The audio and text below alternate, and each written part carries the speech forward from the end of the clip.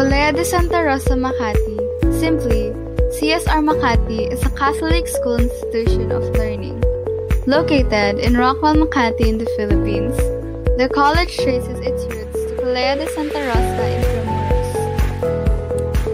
The parent school was founded 1750 by M. Paula de la Santissima Trinidad, a Dominican tertiary from Spain. Colegio de Santa Rosa Makati aims to educate and instruct young Christian girls in the tenets of the Catholic faith, proper behavior and skills which a woman needs to know when she occupies her place in society. By and large, CSR, with God's blessings, prospered tremendously. To date, both the grade school and high school departments are awarded Level 2 accreditation status by the Philippine Accrediting Association of School Colleges and Universities, also known as PAASCU. Facilities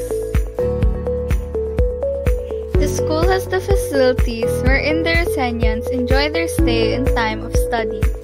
There is the chapel for them to freshen their faith before they enter in their classrooms every day.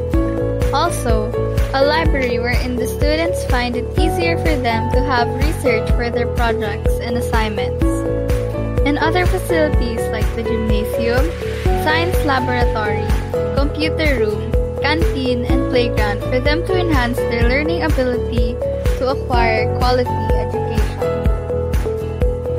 Activities The Rosenians are enjoying much their stay and study time in Colegio de Santa Rosa Makati, in which they are equipped with a lot of activities for them to show their abilities and performance that leads them to more progressive and successful, if not a remarkable moment in their study time. Here are the activities that the Rosenians enjoy much.